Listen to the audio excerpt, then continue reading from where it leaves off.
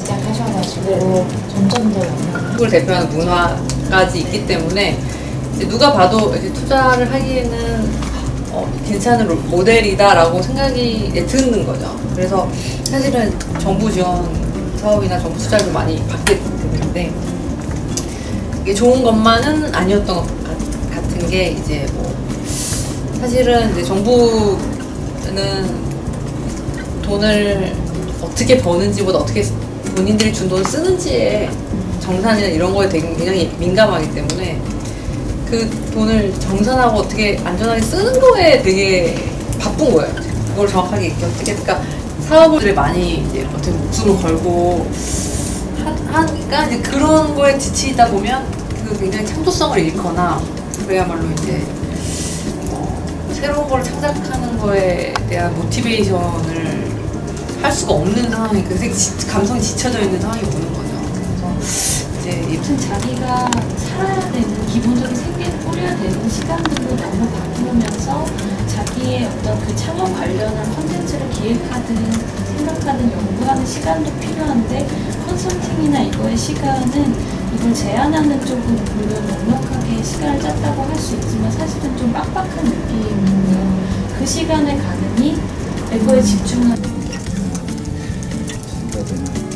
예술 창업 펀드가 하나 조성이 되어 있어요. 국가 지원 펀드는 있는데 이제 그 게임이나 영화 쪽인 거예요.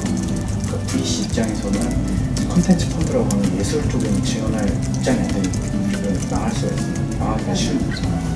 근데 이제 한 VC 쪽으로 몇번 돌았었는데 콘텐츠 쪽을 하고 계신 분, 콘텐츠 펀드가 있으신 분들은 거의 무조건 영화 쪽이에요.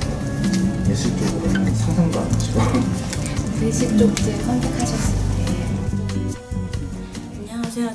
강원도 원주에 있는 콘텐츠 제작사 낭만사의 김이슬입니다. 저는 일단 창업을 준비하는 분들께 드리고 싶은 말은 저도 아직 26살밖에 안 됐는데 그리고 창업에 대한 두려움이 없으셨으면 좋겠어요. 좀 더 용기를 내고 막상 뛰어들고 하다 보면 또 기회가 생기고 길이 생기기 때문에 용기를 좀 가지시고 도전했으면 좋겠습니다. 안녕하세요. 저는 어, 비기자의 최선영이고요. 저희는 어, 무한 경쟁 시대에 각기 다른 생각들이 어떻게 밀릴 수 있을지 그 현장을 어, 예술 프로젝트나 공연, 전시, 교육, 영화 등의 방식으로 만들어보는 그런 창작 그룹입니다. 창업 관련한 어떤 지원 사업의 방향들은 사실은 이렇게 1년 단위 성과들을 어, 팀들이 다 내는 것이 좀 힘든 상황이에요.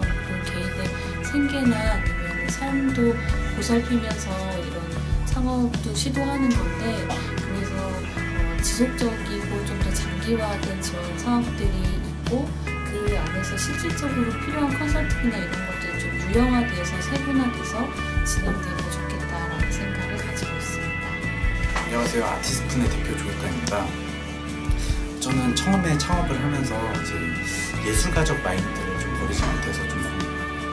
힘든 경우가 많았었는데요.